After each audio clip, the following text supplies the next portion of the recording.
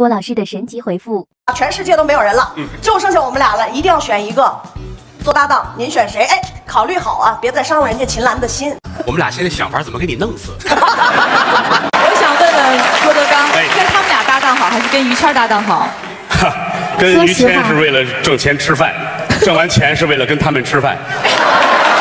咱们有实问实答，我还有这个环节呢。对呀，开始。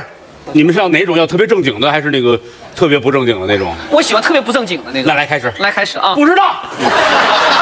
觉得他喜欢柳岩那样。哎，这个节目也播出吗？这年轻啊！哎，怎样怎样？他说我们要多疯狂一下哦，因为再不疯狂啊，我们就老了。